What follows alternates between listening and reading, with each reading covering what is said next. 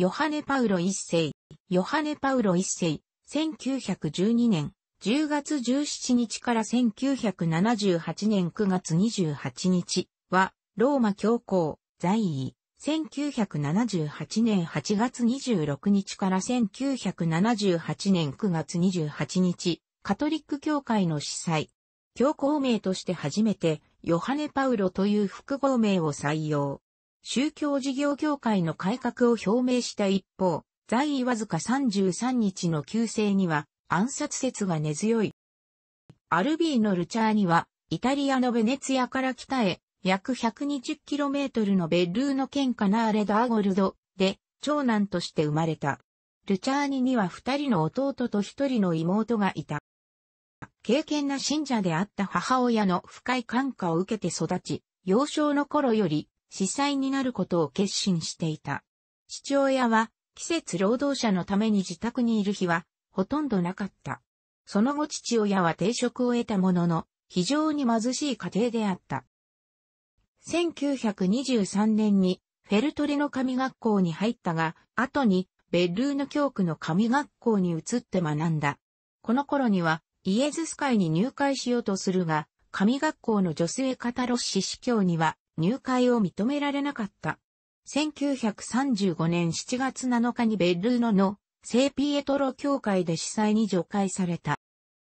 第二次世界大戦後には、ベルーノ教区人学校の教授になり、その後1958年にヨハネ23世によってビットリオ・ベネトの司教に任命された。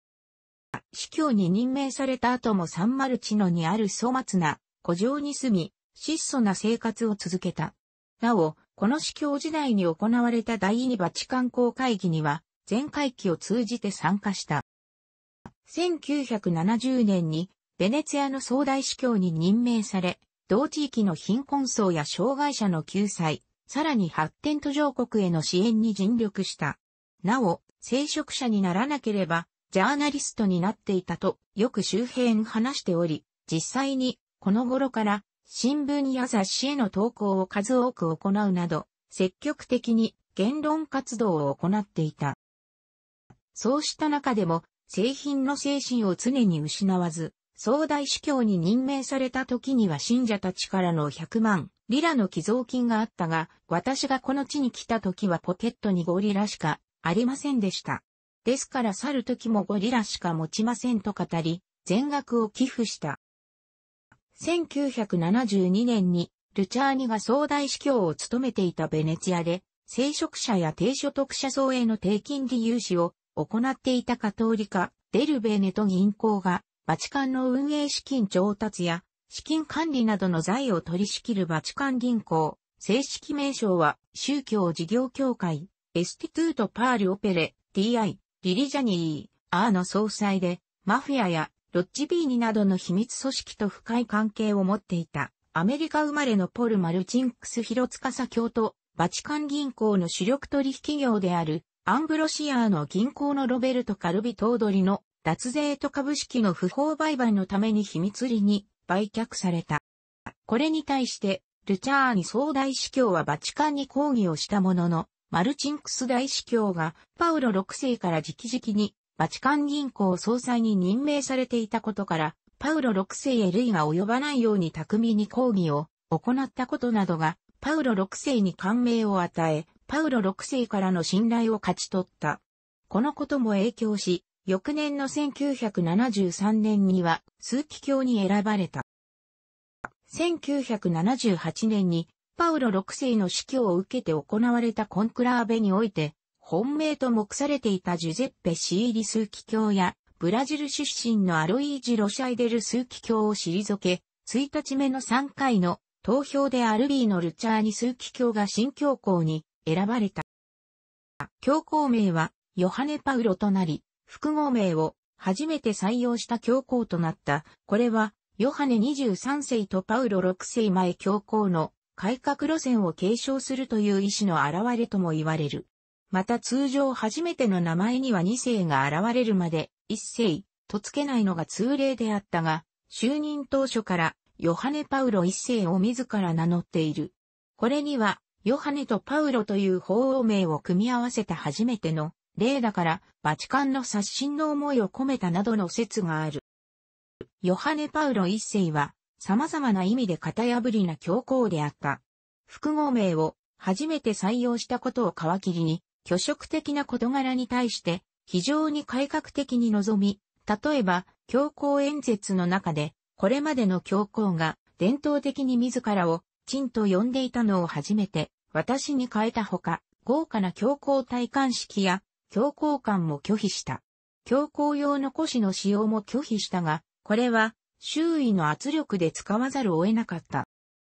さらに、難解な宗教用語やラテン語を多用していた表現を、ジュール・ベルヌやピノキオなどを引用した一般人にも理解しやすい平坦な表現へと改めたが、威厳を損なうなどとして保守派からは反感を買うこととなった。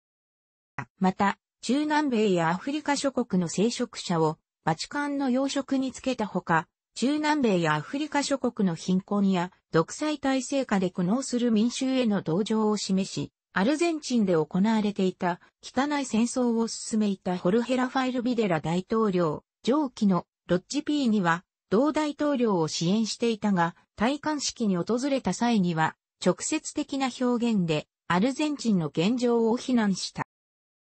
ヨハネ・パウロ一世は、否認についての禁令を解くつもりでもあった。9月23日日曜日、ローマ司教の職権によりサンピートロ大聖堂を受け継いだヨハネ・パウロ一世は、共産主義の市長と握手を交わし、ミサの後、教会の真の宝である貧しい人々のためには尽力するが、悪人に対しては、教皇の強権をはばかることなく行使すると宣言した。アメリカのいくつかのプロテスタント教会とはすでに接触を持っていた。教皇に選出される直前、アメリカ議会代表団を歓迎し、否認について、女性の排卵期について語った後、どうして妊娠しない期間、24日から28日にすると罪になるのか、私には理解できませんと述べた。そして、パウロ6世による旧来の三次制限反対を再確認する会直、人間の生命について、不満なえいたえは5だったと口にしていた。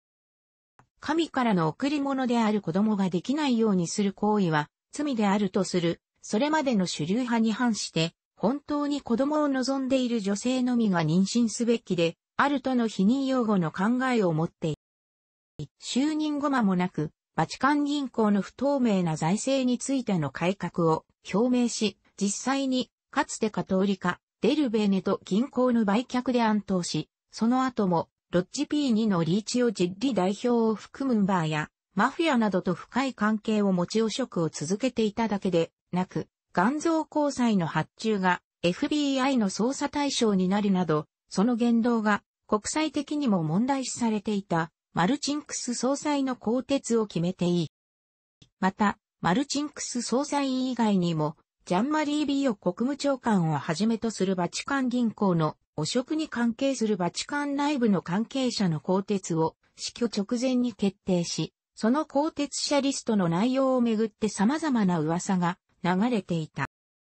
上記のような改革を表明したことが、多くのバチカン内の改革派と、信者からの支持と喝采、そして対象者とその利害関係者からの抵抗と、非難を受けたにもかかわらず、ヨハネ・パウロ一世は、教皇在位わずか33日目の1978年9月28日の午前4時45分に、バチカン内の自室で遺体となって発見された。わずか33日の教皇在位は20世紀に入ってから最短の在位記録となった。通常通りの起床時間になっても起きてこないことを不審に思った修道女によって発見された直後に個人秘書であるマギー神父に連絡が行き、さらに午前5時には美容国務長官に連絡が行ったもの、美容国務長官はすぐに専属医師団を呼ばず、自らの側近に連絡した後に、ようやく医師団自責であるレナート・ブゾネッティ医師に連絡を行った。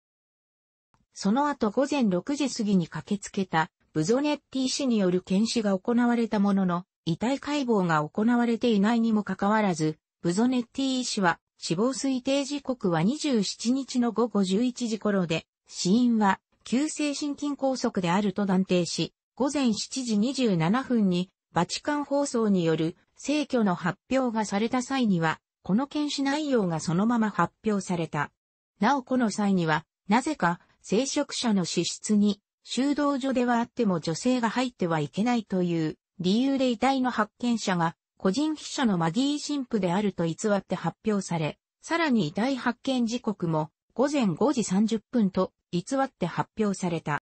さらに死去後に、ヨハネ・パウロ一世の遺体発見時に、ベッド周辺に置かれていたメガネとスリッパ、就寝前に手元にあった美予国務長官やマルチンクス大司教などのバチカン銀行関係者の鋼鉄を含むバチカンの人事移動者リスト、通常は常時用意されている遺言状が前日ヨハネ・パウロ一世より鋼鉄が言い渡された美予国務長官により持ち去られており、その後行方不明になった。またヨハネ・パウロ一世の遺体が発見されてから15分と経たず、医師団への連絡も行われていない午前5時前には、早くもバチカン御用達の葬儀者である、シニョラッティ社に連絡が行った上に、遺体解剖も行われず、明確な死因もわからないうちから、防腐処理が行われたことなど、バチカンによる証拠隠滅や情報操作と思われる行為が矢継ぎ早に行われたことが、信者やイタリア政界関係者、マスコミだけでなく、バチカン内部関係者からも大きな疑惑を呼んだ。イタリアの有力紙であるコリエーレ・デラ・セラは、遺体解剖がすぐに行われなかったことを10月1日の紙面で大々的に批判した。なお、遺体解剖は、防腐処理の終了後に秘密裏に行われた。このように、死後間もなく不可解な証拠隠滅や、情報操作が行われた上に、ヨハネ・パウロ一世による、バチカン銀行の改革と自らの追放を恐れていた。マルチンクス大司教が普段は早朝に起床することがないにもかかわらず、なぜか当日午前6時45分に教皇の寝室近辺にいたこともあり、美予国務長官やマルチンクス広司教、そしてマルチンクス広司教と関係の深かったロッジ P2 のジェッリ代表、さらにこの二人と関係の深いアンブロシアーの銀行のカルビトードリラによる暴殺説が囁かれることになった。この他にもこれらの人物と近い関係にあったマフィアによる暗殺説もあり、マフィアとバチカン、イタリア政界の関係を扱った1989年公開のアメリカ映画ゴッドファーザーパートイのプロドはこの教皇の暴殺説をもとにしている。また、2006年に発表され、世界的ベストセラーとなったポルトガル人作家ルイス・ミゲル・ローシャによるミステリ小説 P2 新潮社館現代オームルティマ・パパはこの強行暴殺と秘密結社ロッジ P2 との関連をテーマにしたものである。葬儀ミサは同年10月4日に取り行われた。微笑みの強行と言われ、飾らない態度と柔和と謙遜、率直な姿勢が人々の信頼と期待を生み、さらにバチカン銀行の改革を表明していたこともあり、多くの信者からその死去を悲しむ声が聞かれた。2017年11月9日、バチカンは、教皇フランシスコが、ヨハネ・パウロ一世の英雄的な徳を認定したと発表した。1978年10月に行われたコンクラーベで次の教皇に選ばれたカロル・ボイティワは、ヨハネ・パウロ一世の姿勢を継承するという意味を込めて、ヨハネ・パウロ二世を名乗ることになる。しかし、ポーランド出身のヨハネ・パウロ2世は、バチカンの事情に疎く、冷戦下において、東側諸国に組み込まれた故郷のポーランドの民主化を、はじめとする反共産主義活動に力を注ぎ、競技の面では保守的であったため、ヨハネ・パウロ一世が推し進めようとしたバチカン内の様々な改革は後退する結果となったとする見方もある。ヨハネ・パウロ一世の死去により改革が行われないままとなったバチカン銀行は、その後も主要取引銀行を介して、たびたびマネーロンダリングなどの違法な取引に関わったと指摘されている。二代後のベネディクト16世時代には2009年11月と2010年9月の2度に渡り、バチカン銀行とエットーレ・ゴティテレスキ総裁が主要、取引業の一つのクレディット・アルティジャーの銀行を介したネイロンダリングを行ったとの報告を受けたイタリアの司法当局が捜査を行い、捜査の過程で2300万ユーロの資産が押収されている。楽しくご覧になりましたら、購読と良いです。クリックしてください。